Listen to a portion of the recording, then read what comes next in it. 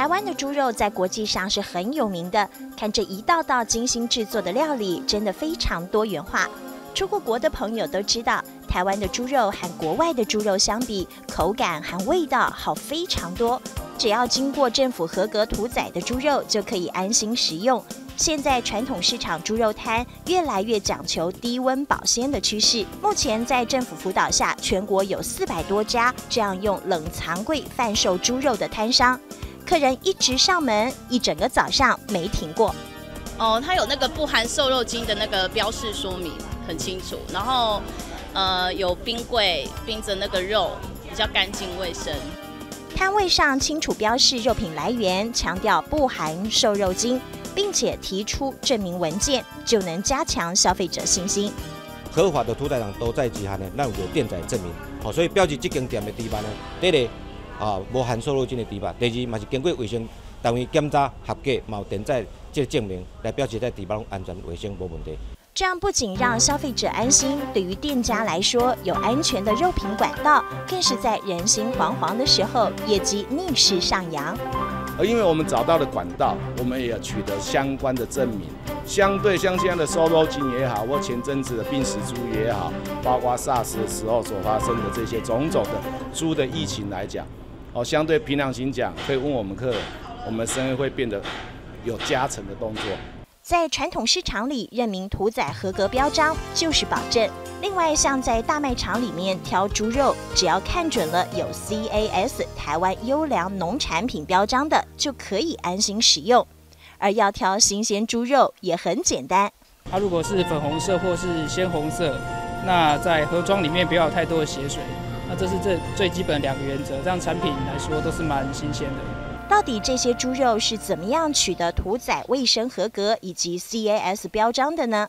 我们实际去走一趟。在猪只屠宰前，不仅要经过屠宰前卫生检查，屠宰的过程更是要符合国家标准。屠宰后更要经过兽医师检验，才能取得屠宰卫生合格标章。屠后检查包括内脏、屠体。那再过来，我们在诶屠宰过程中，我们会做诶采采采血采肉啊，来做防胺剂，哦，还有抗生物质，好，还有诶现在最夯的这种瘦肉精的检测。瘦肉精检测就是要确保契约牧场的猪肉绝对安全卫生。然而，就整个作业环境上，工作人员进入与外界严格隔离的分切室。更要经过重重关卡，不仅要穿着合格工作服装，不论在手部清洁，或者是清除身上可能沾到的毛发，都有一定的作业标准和作业时间。作业区随时保持低温保鲜，更有品管人员实时做监控，确保温度。那政府在这一方面呢，已经加强了许多啊把关的措施。啊，对于啊国产的猪肉呢，务必要做到。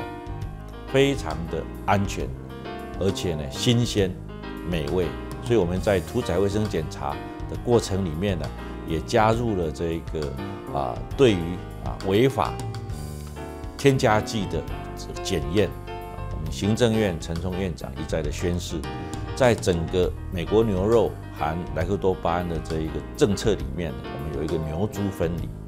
那牛猪分离，事实上。是在照顾我们的国内产业。我们的养猪产业是国内农产品生产的第一位，它每一年的产值呢有高达七百多亿。那因此绝对会照顾到我们国内的这个养猪产业。所以牛猪分离这个政策呢是一定会去推动施行。国产猪肉在地生产，在地消费，透过政府的严格把关，以及农友们一起努力，共同杜绝瘦肉精。